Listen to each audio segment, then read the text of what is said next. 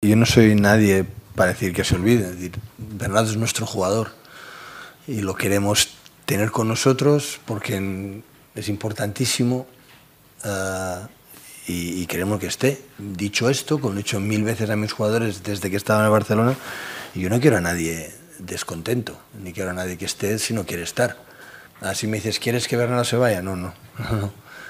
Quiero que se quede porque, como dicho Xavi, es un jugador superlativo en todo, en todo primero como persona.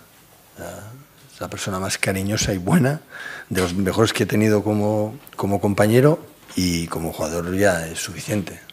Nosotros lo queremos, el club lo quiere, pero si al final llega una oferta que por lo que me consta en estos dos años no ha llegado nunca, nada, pues el jugador no se va a mover porque tiene contrato. Ah, si llega una oferta y el jugador se quiere ir y los clubes se van de acuerdo, pues, pues no sé qué va a pasar pero como dijo Ferran ayer, quedan creo 7 8 días para acabar el mercado. Que sea Bernadora sería un problema muy grande para nosotros porque tenemos que ir al mercado. Y ahora mismo no es, no es fácil. Pero la situación es esa, es, es sencilla.